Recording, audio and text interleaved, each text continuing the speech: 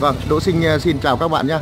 À, đến với cuốn ờ, video à, tôi đặt vấn đề đến một tác phẩm à, Mai vàng Yên Tử. À, đây là cuốn video đặc biệt à, chia sẻ tại à, triển lãm sinh vật cảnh à, thị xã Đông Triều, tỉnh Quảng Ninh. À, trước mắt chúng ta à, là một cái tác phẩm Mai vàng Yên Tử với bóng dáng tổng thể rất là đẹp.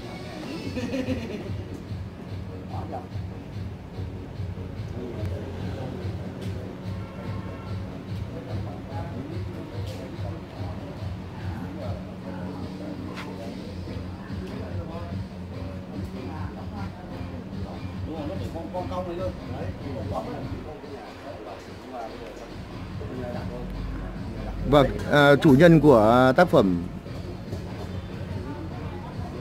à, có tên là Thiên Phúc Yên Tử. À, đó là của anh Hoàng Lâm. À, số điện thoại đây. À, số điện thoại anh à, in trên cái à, nền à, à phun vàng, à, cho nên là khi quay là rất bóng. À, tôi đọc luôn cho các bạn là 0947 199 999 à, tức là năm quân chín đuôi ngũ quý chín à, địa chỉ là ở, ở Ninh Bình phường Bình Khê thị xã Đông Triều Quảng Ninh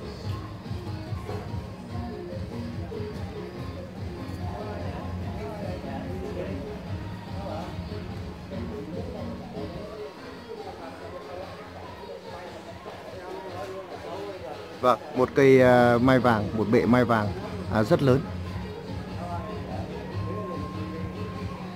À, nói đến mai vàng yên tử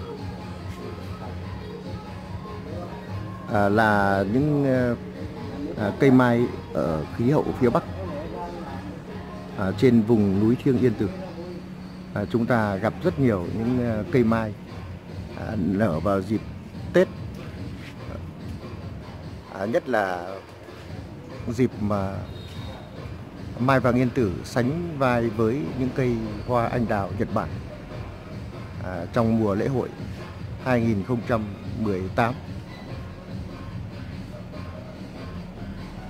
tại Yên Tử, Quảng Ninh.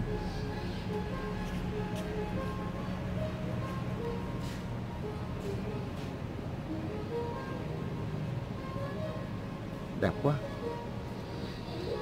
À, chúng ta cũng à, à, cùng với anh à, Hoàng Lâm có đôi điều à, chia sẻ về tác phẩm à, Mai Vàng của mình.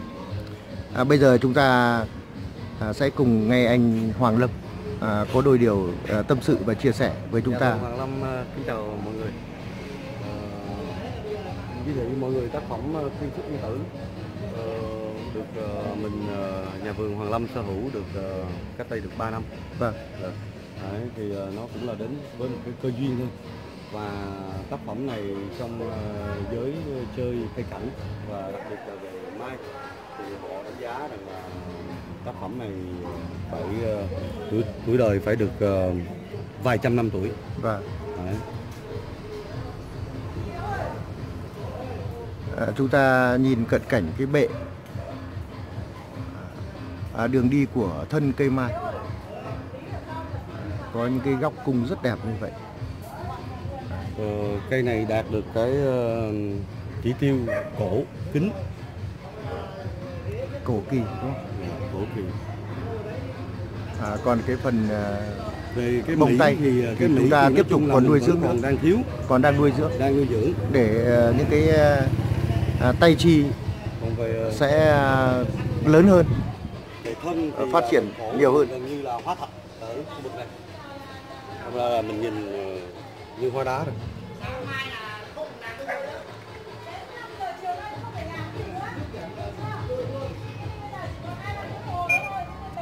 Và tên Thiên Phúc Nguyên Tử nó cũng có cái ý nghĩa.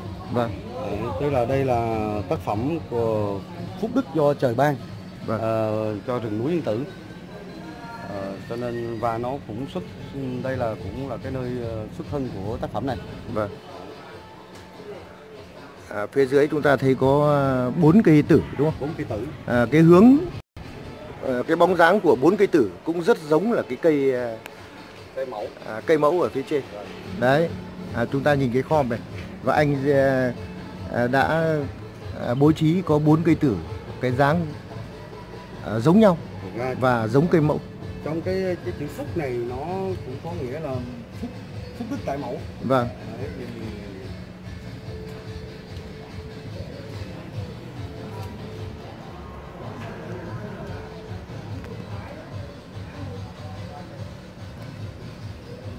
tôi chia sẻ với các bạn phía ngược lại.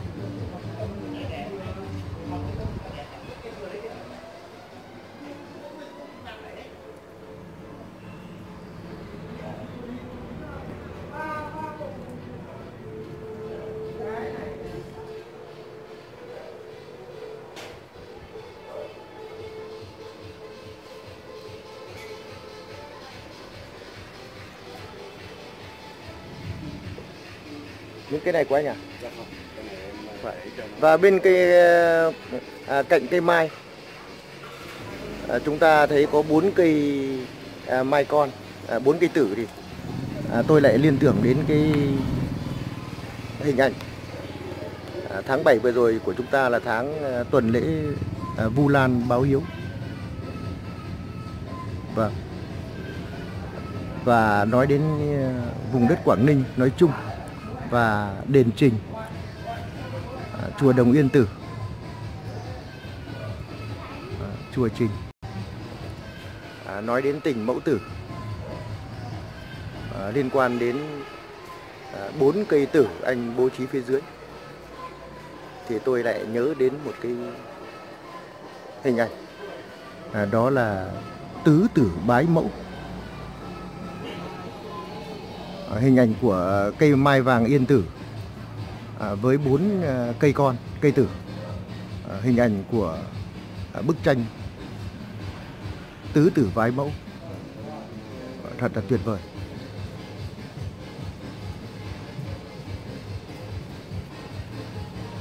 Còn phân tích thâu sâu thêm một tí nữa là bốn cây tử thì cây à, hướng đi đầu nhất là cây to và đậm nhất.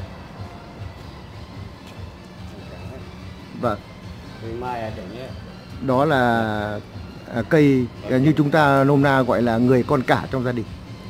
À, và sau đó là những người em và cây nhỏ nhất là người em út vẫn phải núp dưới bóng của người mẹ được che chở cho các con.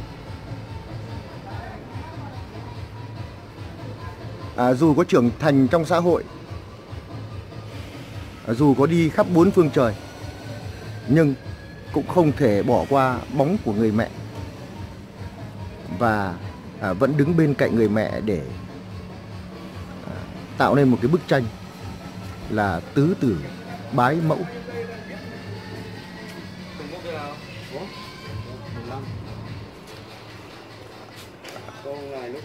Nếu vào dịp à, mùa xuân mà à, cây mai vàng của anh à, Hoàng Lâm à, trổ những bông mai vàng rực rỡ trên À, tán lá thì đây là một bức tranh rất là tuyệt vời. Vâng. À, anh à, các anh đứng vào tôi chụp một kiểu ảnh kỷ niệm với à, anh anh anh anh anh anh Hoàng Lâm đứng vào nữa. Rồi. Chụp rồi đấy, xong rồi đấy.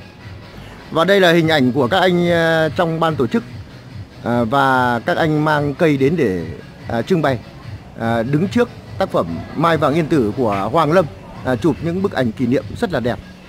Vâng, chúc uh, mừng các anh, à, chúc cái buổi triển lãm của chúng ta thành công tốt đẹp. Cảm ơn. Vâng. Vâng, cuốn ờ, video này tôi dành riêng à, chỉ có tác phẩm à, Thiên Phúc Yên Tử à, nói về cây mai vàng yên tử của anh Hoàng Lâm để chúng ta chia sẻ. À, bên cạnh đó anh Hoàng Lâm còn có một tác phẩm nữa à, là một cây mai vàng yên tử à, vóc dáng nhỏ hơn. À, nhưng mà đây lại sang mang tên của ai đây? À, tức là em để tên của đứa em ở trong vườn cái, À, cậu mà cái cậu Kiên đấy hả? Dạ vâng. Vâng. À, nhưng mà vẫn là của anh. Nhưng mà cái người mà đứng tên cái tác phẩm mai nhỏ hơn này là anh Kiên, người chịu trách nhiệm về kỹ thuật của vườn mai của anh đúng không? nói chung là đây à, anh Kiên này là trái tim của vườn mai Hoàng Lâm đấy Vâng, tức là linh hồn đấy. linh hồn của Người đã mang cái cái sức sống cái sức sống và à, tạo tác lên những cái hình ảnh, à, những cái vóc dáng của cây mai trong vườn anh đúng không? Cái, cây giáng long này nó có một cái đặc điểm nữa không phải chỉ là về dáng không mà hiện tại bây giờ nó đang là cái giống uh, mai vàng yên tử mà gần như có thể nói gọi là đột biến vì trong một cái uh, bút nụ của nó nó ra được 21 bông À thế kìa. Tức Và là thành tại- chùm ấy, chùm lớn đấy. nó ra thành một chùm 21 bông Vâng. Đấy. Ờ, và hiện tại giờ nếu mà những cái giống mà ra được tầm trên 20 bông thì gọi là rất hiếm Vâng. và cây giáng long này là nó là đây là giống chính của nó không cấy ghép đây những cái ờ, bút nụ như thế này Đó. Vâng. và một nụ như thế này thì nó sẽ đưa ra cho mình 21 bông Tuyệt vời quá nhỉ. dạ. Tức là cái chùm hoa mai chùm hoa lớn. mai khi mà mình nhìn thấy cái hoa mai mà ra thành chùm ấy là từ một cái nụ nó bung ra đây là một cái giống ờ, hiếm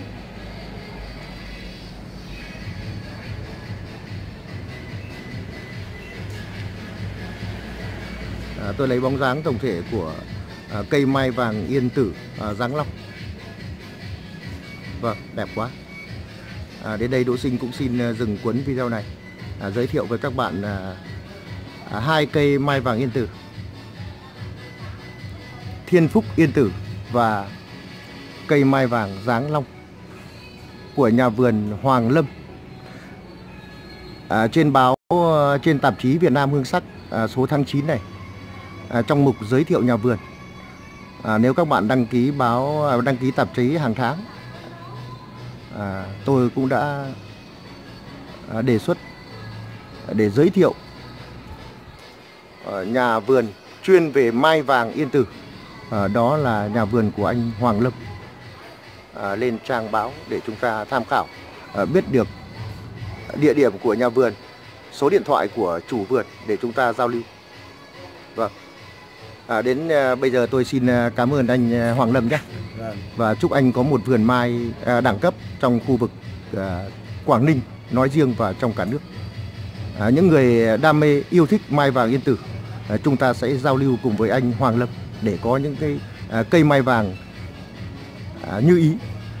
Vâng, xin cảm ơn anh. Vâng, em rất cảm ơn.